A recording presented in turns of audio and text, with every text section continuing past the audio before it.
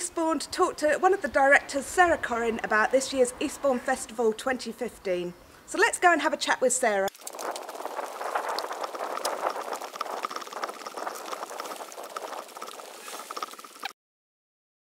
So Sarah, thank you very much for giving us your time today. Tell us what's new about the festival.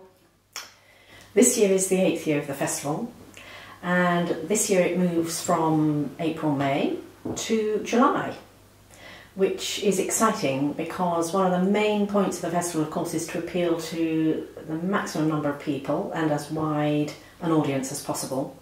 So this year we're um, introducing the festival to many more tourists than ever before, and it'll be an innovative festival. Um, it will be a platform for lots of new people, and we've got a very exciting programme ahead. What's going on in the theatres? So lots going on in the theatres. Uh, in the Birley Theatre, which forms part of Eastbourne College, we have Dora versus Picasso, which is uh, a, a drama about their tempestuous affair back in the 30s.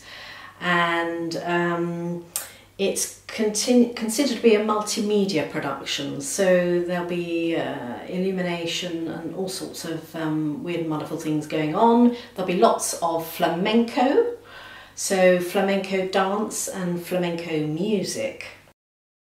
It was during my residency at the Tate Gallery, uh, London, then Tate Britain, that I came across Picasso's iconic Weeping Woman painting, which was based on the face of his muse and mistress at the time, a young woman called Dora Maar, who was also a surrealist photographer in her own right.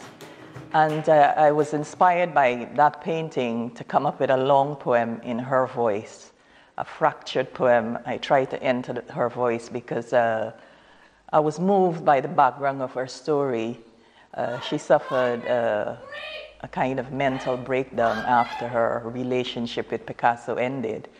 And uh, one psychiatrist, for example, felt that seeing her face uh, fractured again and again in Picasso's cubistic style because he did many paintings of her might have contributed to her breakdown.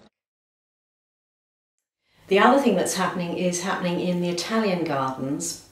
In Eastbourne we have Rude Mechanical Theatre, so that's a theatre company that was formed some years ago. During the summer months they perform open air shows. This year it's the comedy of Babby Babette and that's taking place in the Italian gardens.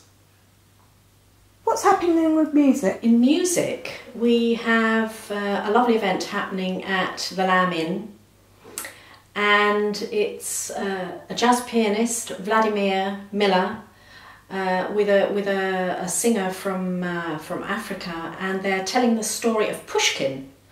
Now, Pushkin was a, a, a very well celebrated Russian poet but he has um, some origins, not himself, but his great grandfather in Africa. So there's a very curious tale to be told through music, jazz, and singing at the Lamb Inn. Other events are happening at St Mary's Church, and uh, there'll be music in all sorts of places at the same. What's going on with the open houses this year? So the open houses have always been popular. Are open houses, so people's homes, people can show up and just ring the doorbell and go in and have a look. Some of them are studios, so artist studios where they might find an artist actually working. And others are churches. So St Michael's, St Elizabeth's, two churches are participating this year. So a range of venues dotted all over town. Artists vary from uh, installation, so there's an installation happening at the Curious Project studio in the centre of town, and the artist there is actually um, exhibited at the Hayward Gallery recently in London.